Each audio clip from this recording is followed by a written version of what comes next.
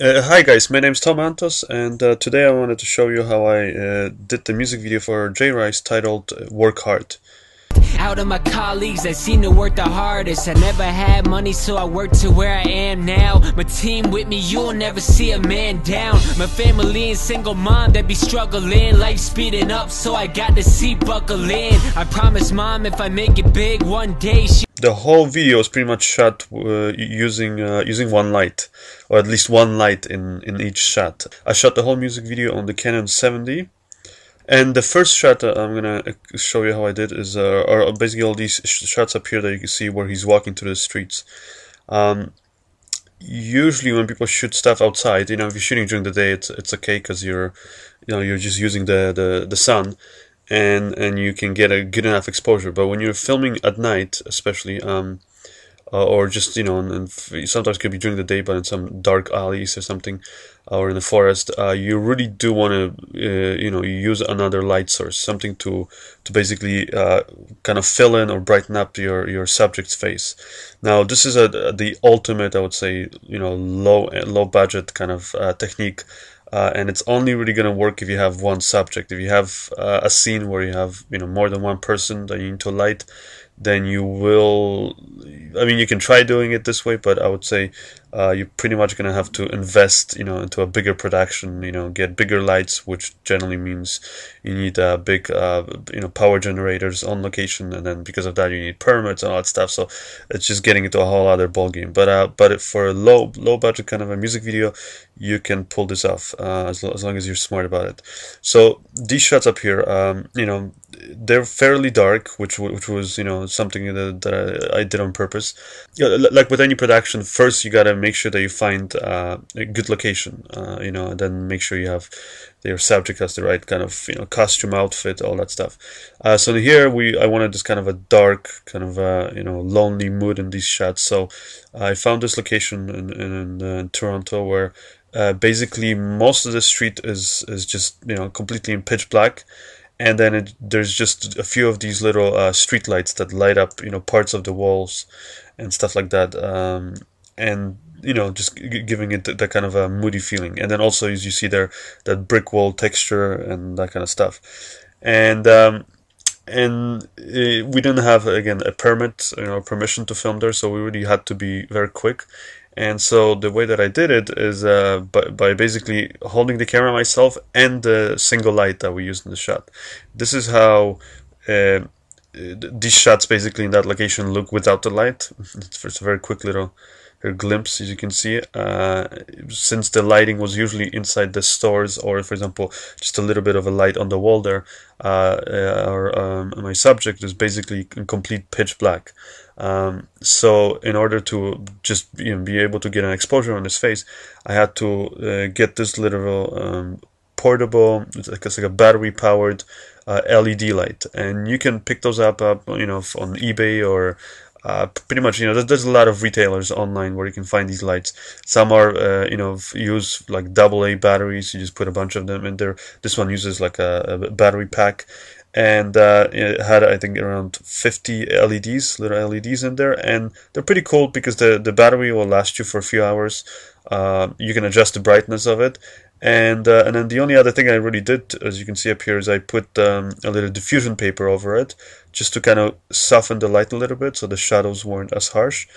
And then, as you can see up here, I would walk with the light, uh, and and I you know held, held the light in one hand, and in the other I held uh, the camera, and uh, and you know I just got the shot. And uh, key thing about you know when you're lighting uh, your subject that way is to get um, uh, to, to get the, the right angle for the light. Uh, you kind of want it, you know, uh, you kind of want the light to be sort of face, you know, sort of head on in front in front of the, the, your subject, and just a little bit higher than their eye line, so that it kind of creates these light little shadows sort of under the nose and you know under the chin, but yet the shadows aren't too noticeable. If you put the light up too high, it will create very, very, you know, very harsh and noticeable shadows. Which again, if you want that kind of a look, then that's great. But in here, I didn't really want that light to be that obvious, so I, I kind of, you know, I, I, I put the light a little bit higher. Now, the reason why you don't also want the light too low is because then it will create shadows in, in the other direction. So, whereas you know that this sort of a slight shadow under the chin and under the nose, it doesn't seem that out of place, um, in my opinion. So that's the reason why I did that. And uh, and yeah, that's it. And then I had the camera mounted on this little uh, Steadicam, I guess you could call it, as a little uh, stabilization system. Uh, wasn't the greatest, but it it worked out okay. Uh, so these are the the rough takes here. You can see. This is how it looks before the color correction, and um, and then once you have that, uh, this is how it looks after the the final color correction. So that's pretty simple. Um, and again, if I had no light in there, it would just be, you know, the subject would just be pitch black. Uh, and I used that actually uh, in, in, in other settings too. Like example here, we're shooting in this parking lot with the view of uh, the Toronto skyline behind us.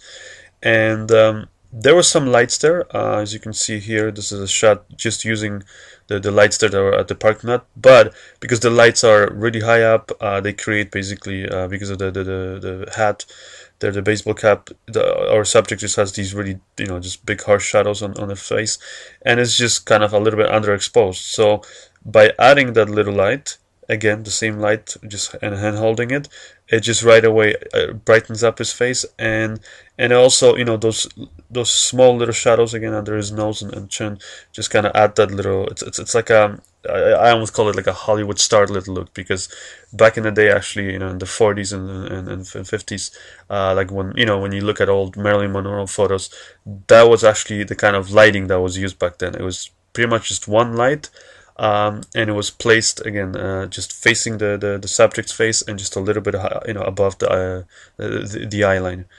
And, um, and that's exactly the same thing that I used in this setting here. And it just basically brightens up his face. And then when you add the final color correction you can see it, uh, makes a big difference actually. You can see that shadow under the baseball cap and then and then uh, under the chin uh, you know a lot more. Uh, I'll show you also very quickly how I did this shot this little performance shot in the dark um, this shot was uh, was done uh, simply because we didn't have access to studio. It was done in a, in a room. Uh, just I put some black fabric there. I just taped it to the wall behind the subject, as you can see. And then uh, I had uh, one light. Well, here you can see me experimenting. I had two lights. There's like a, this little blue light I put in behind him, but eventually ended up uh, removing that light. And basically, all that I have is just one light. It's a softbox. Um, which is uh, again you could use that probably that LED light, but it's with you know I wanted really soft shadows. So with soft shadows, basically you want the light to be uh, uh as wide as possible. Uh, so the the bigger, the wider the softbox, the, the better it's going to be. And uh, and I just placed that light again right in front of his face, just a little bit up.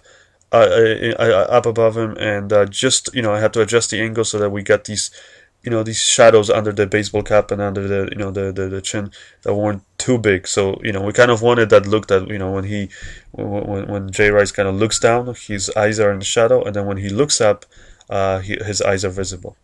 And that's it. And then the rest is just color correction. Uh, i hope you guys enjoyed this tutorial. Uh, please check out my my channel tom antos films for uh, many other filmmaking tutorials uh, you know lighting tips and tricks uh, little effects you know uh, tutorials that kind of stuff. And as always don't forget to rate comment and subscribe. Thanks